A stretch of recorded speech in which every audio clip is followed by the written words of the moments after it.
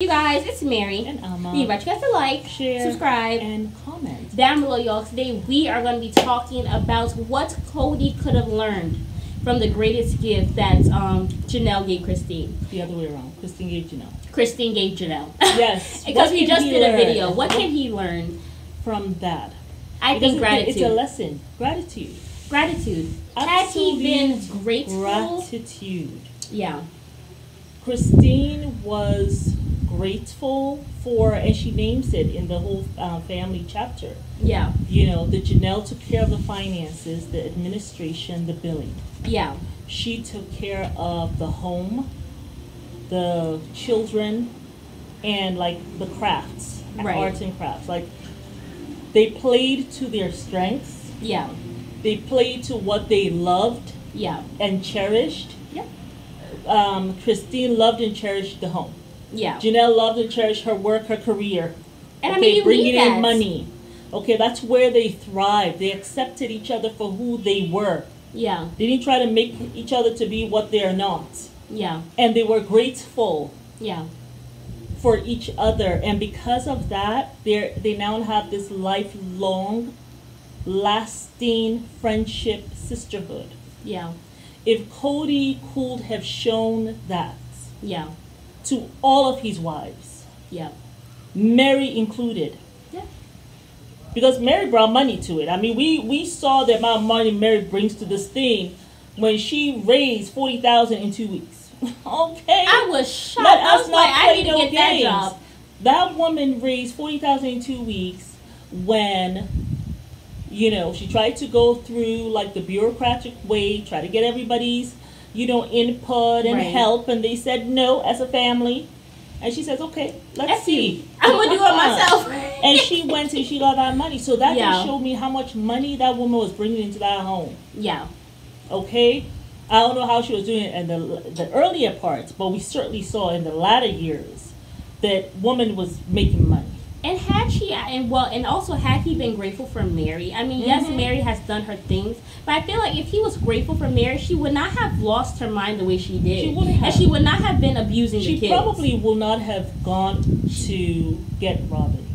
probably not. Yeah, I don't want to say the children thing, but maybe probably not too. Because my thing you have a man know- who's loving on you, who's Yeah. taking your feelings into consideration, Exactly. who value you, who values, values you, and is also not not walking all over you. narcissistic games, And it's not you, taking advantage of you. taking So when you have yes. a man who also listens to you, gaslighting you, right? And then when you have a man who's listening to you Yeah. and is taking care of you, and Yeah. you're having a moment where you're like You're not gonna be snapping or you're being, yeah, because Christine did mention that she felt that Meri, and this is the only part where they kind of touch on it, touch on it, yeah, um, because she does say that Meri will take out her frustration, yeah, her frustrations that, that she was having, probably with Kody, yeah, that she was taking that out on her children yeah, in a way that was inappropriate, yeah. and it was it was too extreme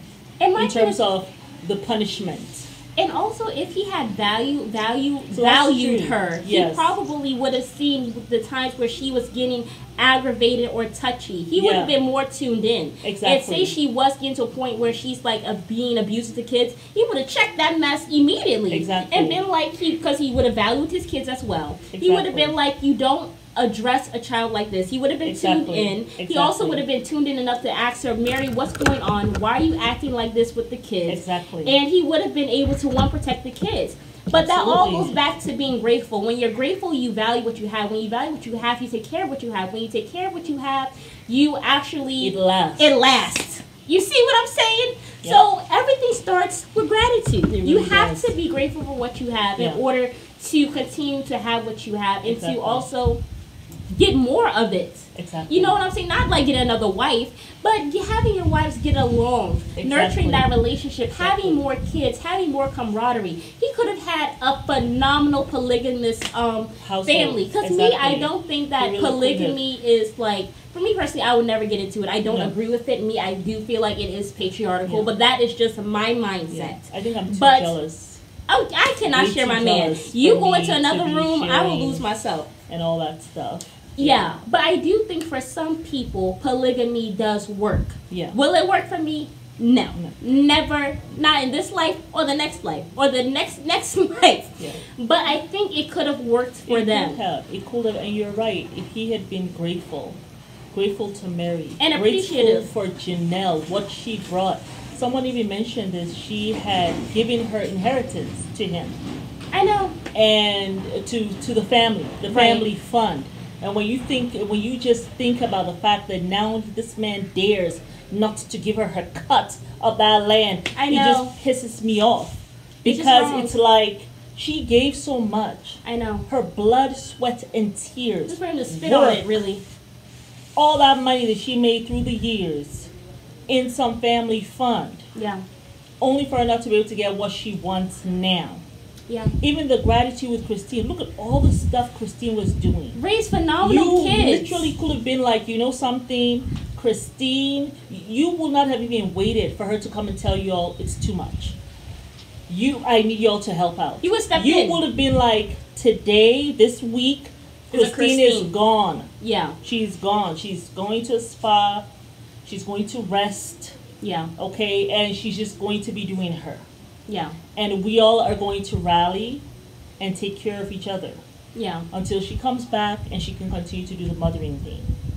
That shows that that gratitude Yeah. when she's calling you and saying we need to talk about this. You're not ignoring her, patting her on the head and going on about your business. Yeah.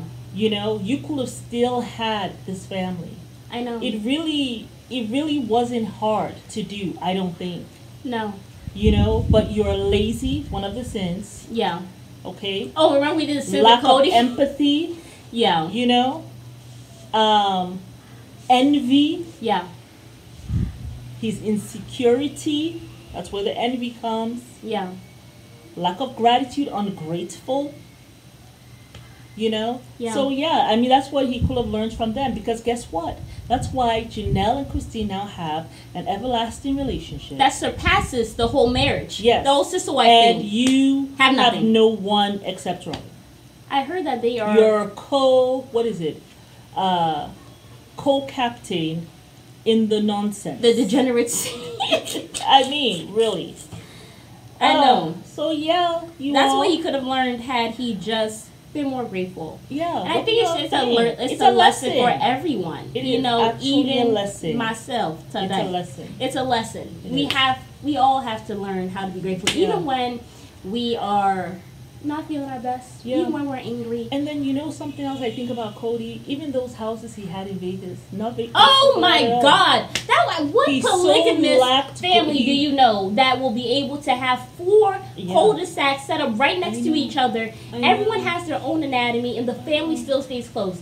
That was the greatest gift God gave them, from my from what I can see. So ungrateful. and he just crapped so on it. ungrateful. I don't care. Let's I don't pull them out of school. Com- competitive.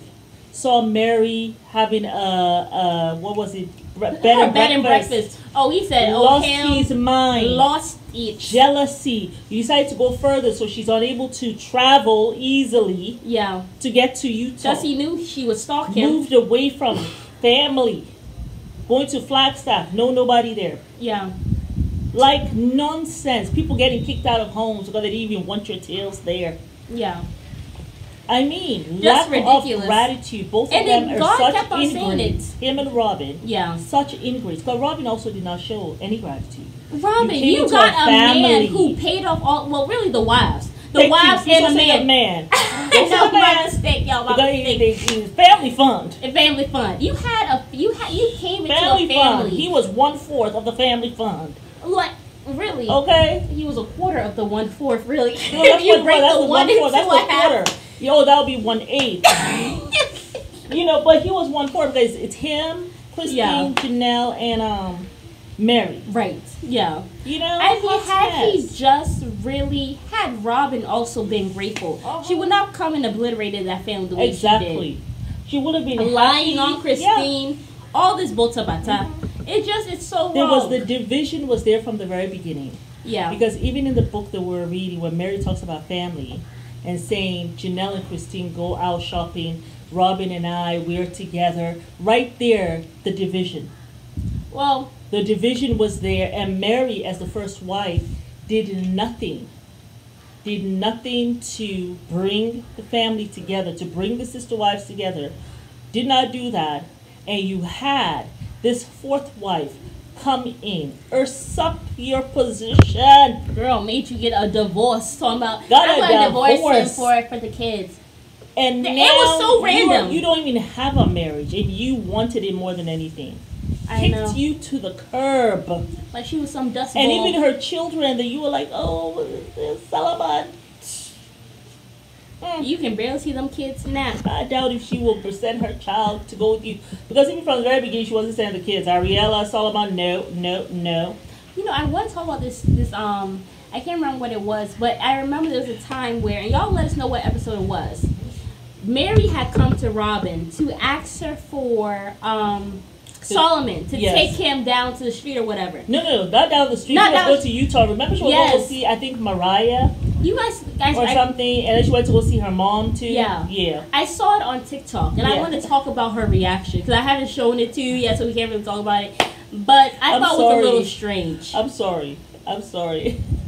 anyway, I was this kind of like a mom, right? yeah. There, that is a hell no. You taking my child, you coming at nighttime to tell me this? that is a no. You came at night. No, but I want to talk about Meri's reaction towards Robyn because it was a little odd, especially with all the context that we know about I'm her. You know, the kids. I am sorry. I- even even if I, even if you don't have that, whatever. Nobody is taking my little child who cannot speak yet. oh yeah, to, yeah, to yeah. go That's so to true. some uh to give him to you under the cover of night time. I'm looking out the curtain like it's dark as hell out here. Why the hell is you here asking for my child? All of that looks suspicious. All of that looks suspicious to me. Listen, y'all, I did not even get to do. for what? More than a oh, it's overnight visit. No, no, no, no, no. Child, listen, I think I was Hell no. 14. Shoot. I, I never had a, a sleepover, and Yeah. the one that I did have, You were 18. you, I was, I was not 18. I think I was 16 or No, 17. 18. That was after those guys you met to the cotillion. Remember the, the girl? No, that was for Kayla. Remember Kayla? No, no, but I did not. You didn't. I didn't allow you to stay. No, my No. mom came. Listen, this is my No. next door neighbor, right? She invited me to sleep sleepover. My mom was like, "That's fine, Yeah, that's wonderful. fine." Mom comes at midnight. Mind you, we're all asleep in the living room, covered up, and it's my mama Yeah, coming to come get me. And yeah, my mom, she was um. we're not doing overnight. And and Meri was going to take the child out of state. Are you high? On Meri, drugs. Are you taking your medication? No. no. Yeah, we- Because I- I don't know. I mean, and I don't think I don't think I actually expressed that when we covered the episode because I didn't want people to think that I was I had you know like something wrong with me. But no, personally, it is a hell. I never had a sleepover. Is a That was not no. even a sleepover. I think I stayed over there for like maybe four hours. We have been It was at eight. look, we've been knowing you guys for a while, so I can I feel comfortable to say that it is a hell no for me. No, I'm not doing that. I'm Yeah. not doing that. I'm not doing that. My child who cannot speak is going to another state with you. I'm not even giving that child to a relative before I say a sister wife. Girl, Well, even get if I that- could speak, you would did not let me go nowhere nobody long term. and then and then the other thing too, the time you're coming. You're coming down in the in the in the in the depth of the darkness to come like it's night you ain't time. up to no damn Like, thank you. It is night time, and you coming to ask me for my child. I'm about to go to bed. This is uh, go talk to me during the daylight hours, please. When I can see you clearly. I can see your eyeballs. yeah. and see what you is up to. And I think the room was dim. It wasn't even much light in the room when they when she came. I don't know if the editing was like trying to make everything like spooky for us. Listen, y'all, I'm 24, and my curfew to come home is 6:30. When okay. before it gets dark. we are in a foreign country, okay? No, but this was even when we were in America. Even in America, I she does not want me going out at night. The only time I'm gonna be able to go out at night is when I have my own damn Well, place. also- That is not true. it is true. I remember last night I went out and I think I came back home. It was a little bit dark. And I was like, it was so nice to be out. I don't think I've ever seen Africa at night. And you're like, Oh yeah, mm, don't get right. you. You're like, Yeah, don't get used right. to that. right. I was like, that. you actually did say that. that was you looked at me like, don't get used to it because it won't be happening often. No, it's just like we're in a, we're in foreign countries. I'm trying If to learn had- like, Swahili you this month. Out like with someone that we know, like okay, you're going out, you're going out to this party. That's not a problem because Oh, I can go to a party at night. That's fine because you're going with someone we know, Really? right? Yeah, You don't even believe yourself. that is not true. Because true. remember, Anthony had asked you a couple of times to go out, and I, I don't mind you going out with him and his sister at night. Go enjoy, you know, one of the African parties and come back home. You know, I, You know what? I'm gonna test that theory out, and then I'm Yeah, gonna make a it. video on it, and then we're going to put a camera on Ama, and we're going to see what her reaction is throughout the night. is not a problem. Let's I see how many times she checked the window. Okay, but You no, barely see when I go to the beach at the during the day. yeah. Well, I you know think maybe anyway.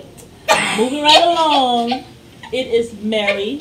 No, I'm Mary, and this is Ama, Yes, and we invite y'all to like, share subscribe. and comment down below. Are you an over? Are you um a protective mama bear like Ama here?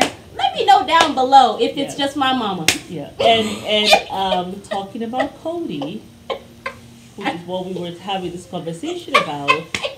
Yes, do you think that those that's a lesson that he could have learned because What were we talking about? His lack of gratitude. Because of his lack of gratitude, he no longer has this ever abiding friendship, love, or lovers or wives. He doesn't have any of that. He I'm has confused lost. as to how we got he from has, there to there. I don't know. He has lost all of that completely. I think because we're talking about like Robyn and um, Kody not having gratitude. Yeah. And, and Robyn not being grateful that she came into this kind of family. Right. And then we talked about her not trusting Meri. Oh yeah, Yeah. yeah, yeah, yeah, yeah. So that's how it went. Well, I mean, maybe Meri was not trustworthy at the time. That could be. Uh, but Yeah, also, I- we kind of know but Robyn I will be. not do it, and that's what we're saying. Yeah. I will not do it. Period. I mean, when I saw Meri say that, I was just like, I don't know what's what's going on What's with wrong Meri. with her? She Yeah, smoking? It's a no. It's a no. You're not taking my child, my little baby, out of state. yeah. No. Hell to the no. To the no, no, no. What meme was that? There Okay, you bye, y'all. Hell no, to the no, no, no.